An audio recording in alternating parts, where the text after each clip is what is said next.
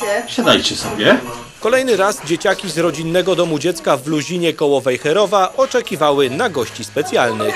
by od szeregu lat y, co roku, nie tylko Boże Narodzenie, ale także Dzień Dziecka i, i, i wakacje y, jesteście z nami. Nie inaczej musiało być i tym razem. Zaprzyjaźniony z Wektrą Mikołaj wysłał do Luzina swoich przedstawicieli, a ci wiedzieli już co robić.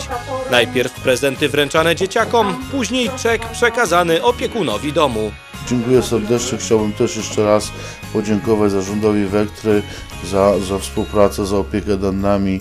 To już chyba szósty albo siódmy rok, kiedy jesteście z nami, kiedy możemy na Was liczyć. Dom rodzinny w Luzinie prowadzony jest w ramach organizacji Rodzina Nadziei. Tu co roku potrzeby są naprawdę duże. W dwóch domach mamy 26 dzieci. Tutaj w tym domu w Ludzinie, w którym Państwo gościcie jest 14. W drugim domu w Fini jest 12. Dzieci w wieku od y, 10 do no, dwu- 20 już w tym momencie lat. Jest więc komu pomagać, co doskonale wiedzą i opiekunowie domu dziecka, i zarząd firmy Wektra. Jest to miłe, że, że no, są jeszcze firmy w tych ciężkich czasach kryzysowych, które chcą pomagać dzieciakom. A nam nie pozostaje nic innego, jak życzyć dzieciakom wszystkiego dobrego.